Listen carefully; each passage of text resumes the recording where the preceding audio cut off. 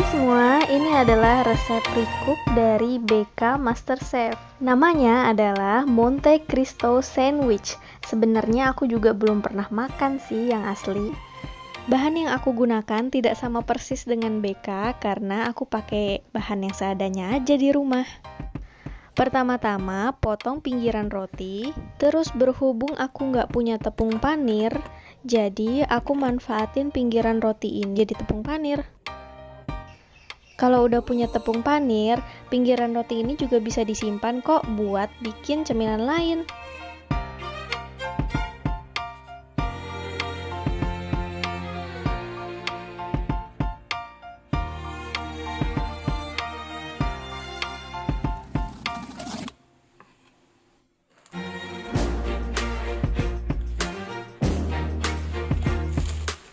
Langkah yang pertama, aku mau buat tepung panir dulu dari sisa pinggiran roti.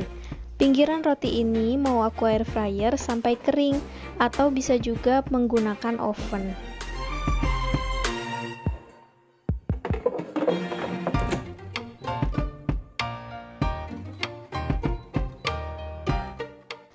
Aku atur suhunya 180 derajat Celcius selama 15 menit. Sambil menunggu tepung panir, bisa nyiapin yang lain. Di sini aku pakai keju slice dan selai nanas bikinan sendiri. Awalnya aku juga heran kenapa ada sandwich yang isinya manis dicampur dengan asin. Resep asli menggunakan strawberry jam karena nggak ada dan pilih yang asam-asam manis, jadi uh, aku adanya ini.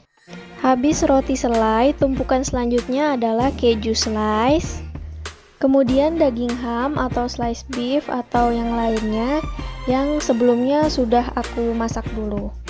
Terus tumpuk lagi roti selai. Terus keju slice. Daging ham lagi. Terakhir roti lagi yang gak pakai selai jadi begini layernya. Cantik ya? Balik lagi ke pinggiran roti. Di sini sudah matang sudah kering.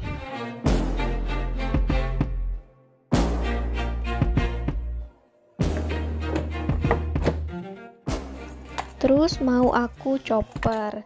Sebenarnya bisa juga dipukul-pukul atau diulek tapi jangan kehalusan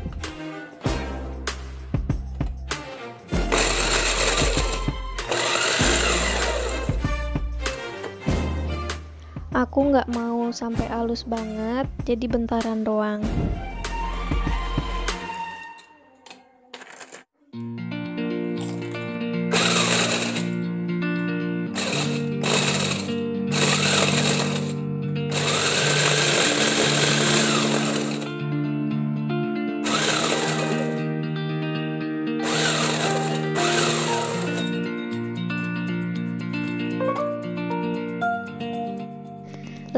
Lanjut ke sandwich yang kedua.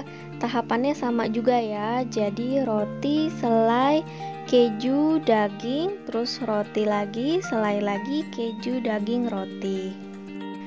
Saranku, selainya tipis aja ya. Di sini aku ketebelan karena selai nanasnya udah lama nempel.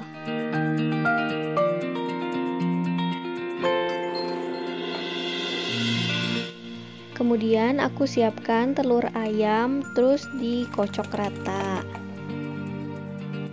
Tepung roti atau tepung panir tadi aku tuang dulu jadi dua tempat. Kemudian sandwichnya dibalurkan ke telur. Jangan lupa sering-sering mencuci tangan dengan sabun ya, pastikan tangannya bersih. Semua bagian roti pinggir-pinggirannya juga harus kena telur terus dikasih baluran tepung roti. Jangan lupa bagian samping-sampingnya juga diberi tepung roti. Sandwich kedua, aku kocok telur lagi dan stepnya sama persis seperti yang awal. Aku puter sandwichnya biar telurnya rata. Terus tinggal dibalik aja deh.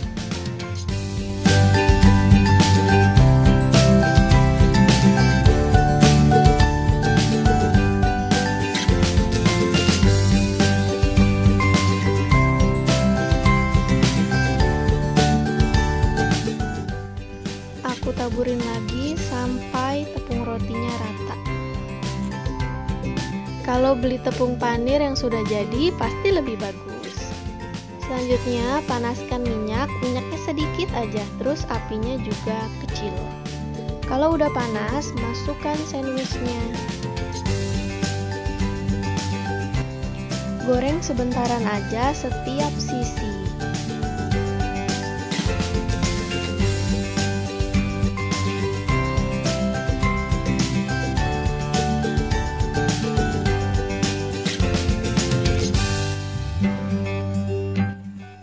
Pinggirannya juga ya.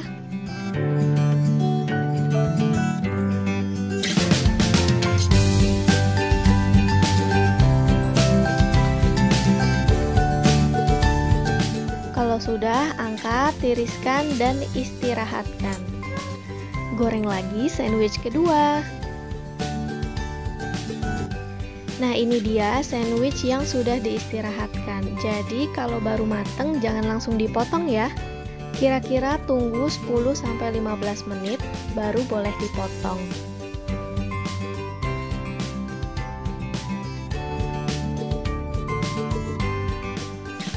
Wow, lapisannya cantik banget. Nah, ini dia sudah jadi Monte Cristo sandwich.